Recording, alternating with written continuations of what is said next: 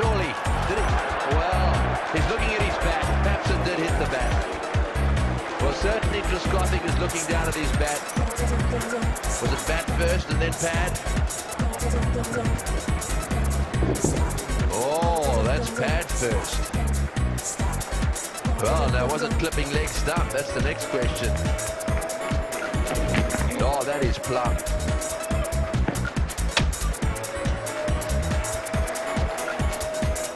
IPL was. It was fun. Quick. What's it hit? What's it hit? Oh, given out. Hussey doesn't like it at all.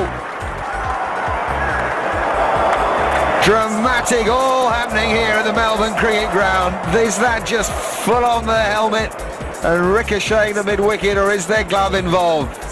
Ponting disbelieving. And Hussey deeply upset. A nightmare start for the Aussies, an absolute nightmare. What's it come off? It was a rearing delivery. It smacks him in the helmet. Was there a little bit of glove on the way through? Morne Morkel, who has struggled to get his length right in Australia, is getting it right this morning.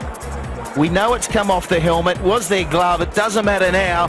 The South Africans will take a drink. And the scoreline, 3 for 49.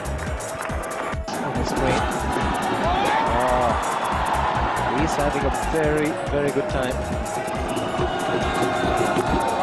it's down, he has taken. Sachin Tendulkar has taken. A.B. de Villiers is unmoved.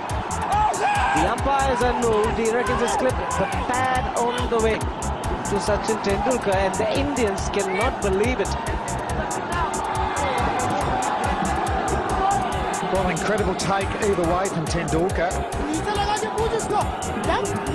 Zaheer Khan, once again, getting into it. The corridor of uncertainty has to be his nick this, and it's straight off the edge. And that's a brilliant catch. It did go pretty quick, didn't it, Shiver? That, that, that was always the big question. If it hit the pad, it would have been slow. That's just a regulation nick. What was the batsman trying to indicate? And what a poor decision this is. Big outside edge.